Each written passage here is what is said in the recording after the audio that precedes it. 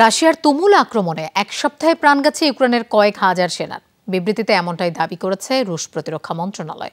শুধু তাই নয়, ব্যাপক ক্ষয়ক্ষতি হয়েছে ইউক্রেনের সামরিক স্থাপনা ও সরঞ্জামের। ধ্বংস হয়েছে ইউক্রেনের কয়েক হাজার সমরাষ্ট্র। কিয়েভকে মার্কিন অস্ত্র ব্যবহারের অনুমতি প্রদানের পর চলতি মাসে হামলার মাত্রা বাড়িয়েছে রাশিয়া। অবশ্য শক্ত প্রতিরোধ গড়ে তোলার দাবি করেছে কিয়েভ। যমুনা রেফ্রিজারেটর খাবার ফ্রেশ তো লাইফ জম্পেশ। রাশিয়ার একের পর এক মিসাইল হামলায় কেঁপে উঠছে দোনেৎস্ক তীব্র হামলার মুখে পিছু হটতে বাধ্য হয় ইউক্রেনের সেনারা। খার্কিভে একের পর এক গ্রাম তো দখলে নিচ্ছেই রুশ সেনারা। অধিকৃত দোনেৎস্কেও নতুন করে আরও একটি এলাকা দখলে নিল রুশ বাহিনী। শনিবার এক সপ্তাহের যুদ্ধ পরিস্থিতি উল্লেখ করে বিবৃতি দিয়েছে দেশটির মন্ত্রণালয়। দাবি, কৃষ্ণসাগরে ধ্বংস করা হয়েছে তিনটি চালকবিহীন নৌযান। সাত দিনে ইউক্রেনের স্থল, জল ও আকাশ সীমায় অন্তত সাতাশটি গ্রুপ স্ট্রাইক করেছে রাশিয়া।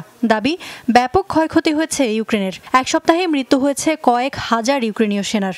ধ্বংস হয়েছে হাজার হাজার সমরাস্ত্র। রাশিয়ার এমন দাবির বিপরীতে এখনও অবশ্য কোনো মন্তব্য করেনি ইউক্রেন। দাবি করেছে, শক্ত প্রতিরোধ আর পাল্টা আক্রমণের। কিয়েভ বলছে, ব্যাপক লড়াই হচ্ছে রুশ সেনাদের সাথে। বিভিন্ন ফ্রন্টে ঠেকানো হয়েছে রুশ হামলা। রাশিয়ার বিভিন্ন গুরুত্বপূর্ণ স্থাপনায় হামলা চালানো হয়েছে ড্রোন ব্যবহার করে। ইউএভি ব্যবহার করে টার্গেটে হামলা চালাচ্ছে ইউক্রেনের সেনারা।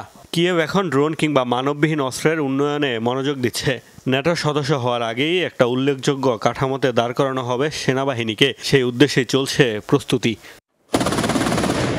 এর আগে শুক্রবার ইউক্রেনের বিরুদ্ধে রুশ নিয়ন্ত্রিত লুহান্সকে মার্কিন মিসাইল এটিএস সিএমএস ছোড়ার অভিযোগ আনে পুতিন প্রশাসন।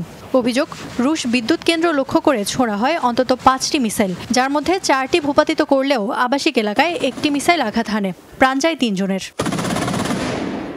ইফাতারা খন্দকার, যমুনা নিউজ।